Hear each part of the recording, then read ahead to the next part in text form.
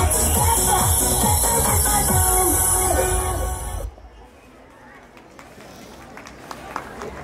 was a performance full of thrill. Our tiny tots are really brilliant to balance themselves on rods.